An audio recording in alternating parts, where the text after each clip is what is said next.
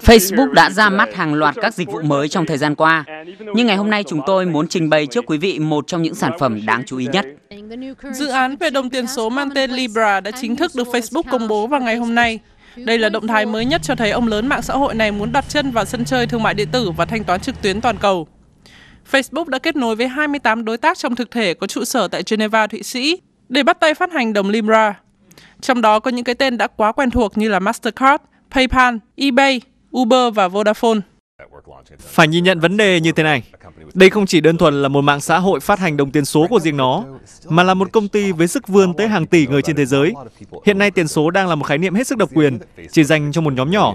Không phải ai cũng hiểu tiền số là gì, nên việc Facebook có thể mở rộng khái niệm tiền số tới hàng trăm triệu người, thậm chí hàng tỷ người, sẽ khiến sự kiện này trở thành một cơn sốt rất đáng quan sát.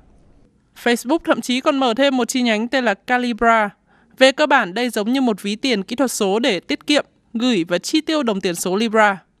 Calibra sẽ được kết nối với các nền tảng nhắn tin của Facebook là Messenger và WhatsApp, vốn đã tự hào với hơn 1 tỷ người dùng.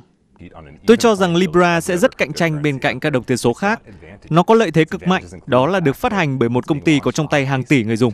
Facebook kỳ vọng sẽ không chỉ đẩy mạnh việc thanh toán giữa các cá nhân và doanh nghiệp toàn cầu, mà còn có thể mở đường cho những ai không có tài khoản ngân hàng, cũng có thể tham gia giao dịch tài chính trực tuyến.